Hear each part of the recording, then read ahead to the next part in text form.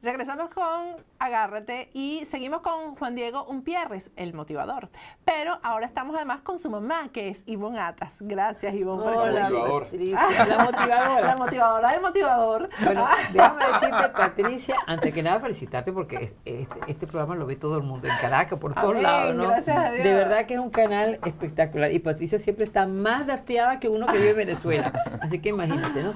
Bueno, y además estoy feliz porque por primera vez me presento al lado de mi hijo. Imagínate tú O sea, hay gente que no me asocia con Juan Diego, que para mí es mi Jonathan, ¿no? Mi hijo Jonathan, mi hijo único, ¿no? Claro. Entonces, claro, esa oportunidad que tú me estás dando hoy, inesperada, porque yo vine acompañándolo, porque vine a verlo y acompañarlo en la conferencia del sábado para hacer una semblanza de Roberto Ebrí, que iba a hacer la conferencia con él. Entonces, de pronto tú me dices, no, tú también estás en el programa. Claro. Ay, pero qué maravilla. Porque además en estos días me puse, yo que me, me meto en tu Instagram y vi la, la cantidad de fotos que publicaste con, con Juan Diego, porque además la gente dice, ay, Ivonne es la mamá de Juan Diego. Es como No, ya. la gente como que no relaciona. No, No, no, ya, ese es el segundo canal de él.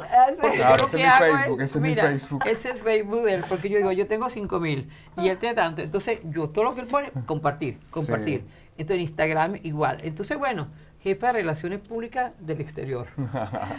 Mira, eh, vamos a ver una imagen, una de las imágenes que sacamos del Instagram, pero yo, ¿tú ¿sabes que yo te quería contar una cosa Ah, aquí?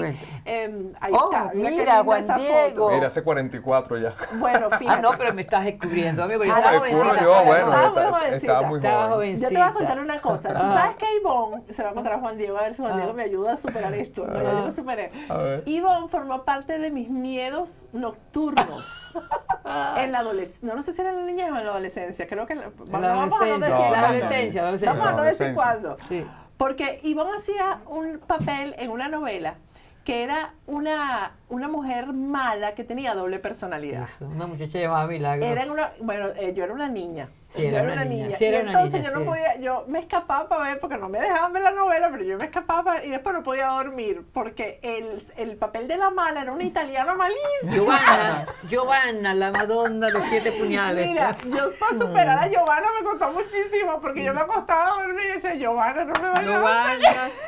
Giovanna era terrible, ¿oíste? Porque de día era Irene, Dios. una institutriz muy mojigata, así con una colita de caballo, su pelito negro, ¿no? Y se bajaba la falda para que no se le vean las rodillas y todo eso.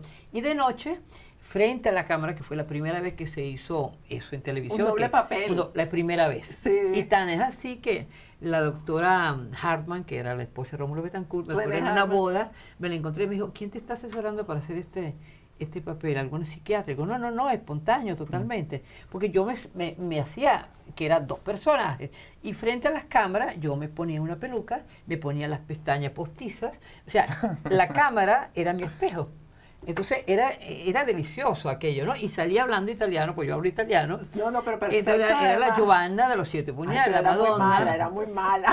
Era demasiado mala. Y me temían mucho los niños. Ahora, cosa extraña. Sí, Todos yo- los niños me escribían. miedo, Pero los niños me escribían. Yo me preocupé tanto que me escribían tantos niños que había un psicólogo que trabajaba en Benevisión, que ya no, ya, ya- que, que era un cura. Y Ajá. decía que siempre terminaba el programa a las 12 de la noche y decía, sonríe si es que puedes. O sea, ah, sí, sí, sí. Entonces, entre padre Domínguez. Entonces yo un día le dije, ay padre, yo estoy muy preocupada porque yo hago papeles de mala y los que me escriben son puros niños.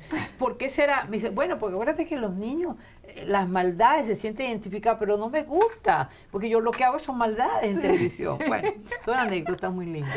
Sí, yo nunca me olvidar de eso, pero hasta que superé a Giovanna y me hice amiga de Ivonne, a quien quiero muchísimo, así Nos que... queremos muchísimo, de verdad que hemos sido compañeras de muchas cosas, Sí, muchas, muchas guerras, sí, porque señor. ella es una guerrera y yo, bueno, yo estoy un poquito retirada de todo eso, pero guerrera al fin. Así es. Somos mujeres guerreras en todo Así esto. es, Ivonne que además es bien polifacética porque hizo también vida política en Venezuela, fue alcaldesa en el municipio eh, Baruta. Ya se me están olvidando los municipios, ¿qué tal?